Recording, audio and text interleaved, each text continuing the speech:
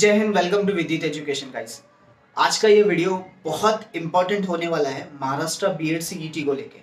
अगर गाइज़ आपने कुछ भी नहीं पढ़ा तो आपको एग्ज़ाम में क्या करना चाहिए? ओके फ़र्स्ट ऑफ़ ऑल हम लोग बात करेंगे कि पेपर पैटर्न कैसा है। गाइज़ जैसे कि मैंने अदर सी को भी देखा कि जो लॉ सी हुआ एम सी हुआ, ये दो सी एग्ज़ाम में पेपर पैटर्न जो था जम्बल्ड पेपर पैटर्न था। मतलब क्या कि क्वेश्चन जो है रैंडमली है सीक्वेंस वाइज नहीं है मतलब एक से थर्टी तक जो क्वेश्चन है, वो टीचर एप्टीट्यूड से नहीं है रैंडम है जीके के भी बीच में है मेंटल एबिलिटी के है टीचर एप्टीट्यूड के है ओके सो ये जम्बल्ड पेपर पैटर्न है ओके सो आपकी जो स्ट्रेटेजी है that should be in the jumbled paper mode में ही होना चाहिए ओके एंड गाइस हमने जम्बल्ड पेपर पैटर्न का मॉक टेस्ट भी लॉन्च कर दिया है so this is this is the right time आप मॉक टेस्ट लिख सकते हो, दो दिन है सो यू कैन प्रिपेयर दो मॉक टेस्ट हमने लॉन्च कर दिया है और अगर आपको मॉक टेस्ट चाहिए तो आप स्क्रीन पे दिए हुए नंबर पे आप कॉल कर दीजिए और डिस्क्रिप्शन और कमेंट बॉक्स में गूगल फॉर्म है ओके उसको भी फिल कर सकते हो, हमारी टीम आपसे कांटेक्ट कर लेगी। So this is about the mock test अब पेपर कैसे अटेंड करना है? गाइस जम्बल पेपर पैटर्न है तो ये देखिए कि आप सबसे इजी कौन से इजीली सॉल्व कर सकते हो क्वेश्चन में। बहुत ज़्यादा टाइम आपको हर एक क्वेश्चन को नहीं देना है।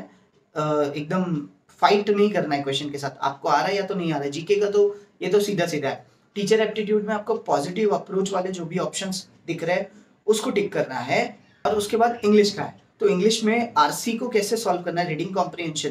गाइस दो से तीन आरसी के पैसेजेस आएँगे। ओके दो तो आते हैं। तो कम से कम दस मार्क का तो आरसी आता है। तो कैसे आरसी को सॉल्व करना है? कैसे अंडरस्टैंड करना है आरसी को? एंड क्वेश्चंस को आंसर कैसे फाइंड आउट करना है? इसका कंप्लीट वीडियो हमने अपलोड कर दिया है। ओके okay, आप देख सकते हो। It is for you.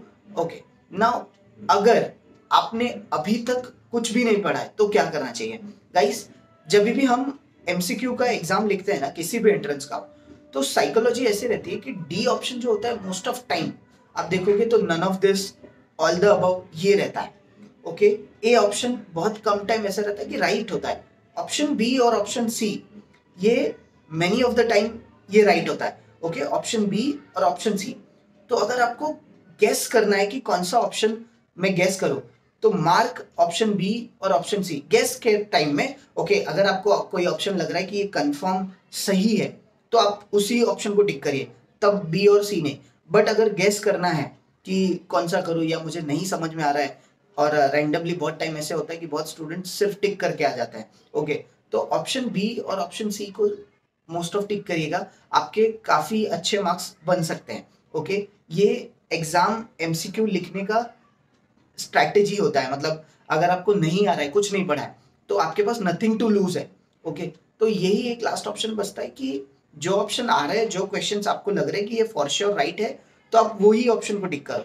But अगर नहीं आ रहा है तो सी टू इट दैट की ऑप्शन बी या ऑप्शन सी में आप ट्राई कर सकते हो, जिससे आपके स्कोर बनने के चांसेस ज़्यादा होंगे। और ये जो ऑप्शन होते हैं, ये मोस्ट ऑफ़ टाइम राइट होते हैं ओके नन ऑफ़ दिस का ऑप्शन बहुत टाइम जो ऑप्शन डी होता है, वो बहुत कम टाइम ऐसा होता है कि ये राइट होता है okay so this is about the complete information कि अगर आपने अभी तक कुछ नहीं पढ़ा है तो ये वीडियो बहुत हैंडी होगा आपके लिए, बहुत इंपॉर्टेंट होगा। अपने फ्रेंड्स के भी साथ शेयर कीजिएगा, जो बी एड एंट्रेंस लिख रहे हैं ओके आई होप आपको ये सारी चीज़ें समझ में आ गई रहेगी ओके okay? अगर, फिर भी अगर कोई डाउट है तो आप कमेंट बॉक्स में हमें कॉल भी कर सकते हो, कमेंट बॉक्स में गूगल फॉर्म है वो भर सकते हैं। एंड गाइस एग्ज़ाम से लेके एडमिशन तक सारी चीज़ें बताऊँगा कि कौन से कॉलेज में जाना चाहिए। वेरी सुन हम लोग पॉडकास्ट भी लेके आने वाले एक प्रिंसिपल से मेरी बात हो रही थी तो उनसे, उनके साथ एक पॉडकास्ट भी करने वाले so that is also we will do it कौन से कॉलेजेस आपको चूज़ करने हैं।